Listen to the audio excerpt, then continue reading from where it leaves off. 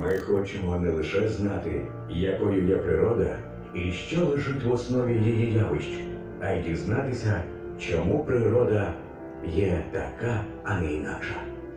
Альберт Ейнштейн